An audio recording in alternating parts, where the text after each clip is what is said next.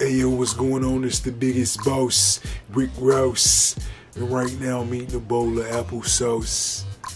The coronavirus got me fucked up. Ah! In a major way. I went to the grocery store earlier. Cause I was gonna take me one of them dumps. One of them dumps. That fire hose type dump. So I went to go get some toilet paper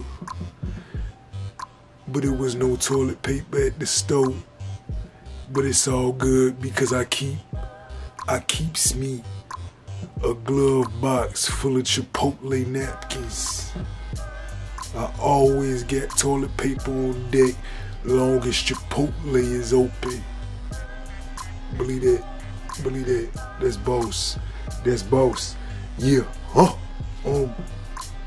I was watching 90 Day Fiance and I was just thinking, like, damn, this nigga really took Soldier Boy name. Baby love, baby love. I don't see how one man could take the name of another man and use it to capitalize off on shit. That's what the fuck I be doing. That's fucked up. That's fucked up. But Fat Boy had to get a check. Fat Boy had to go get a checkers this multiple. I got multiple checkers. I know you call them Rally's. I know you really never seen the checkers, but they exist. They, they exist.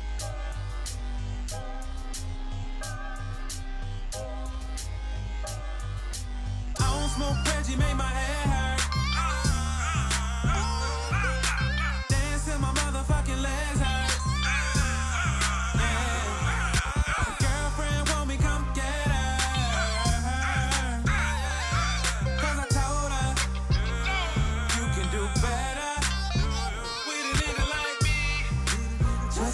me, just like me. You can do better, just like me.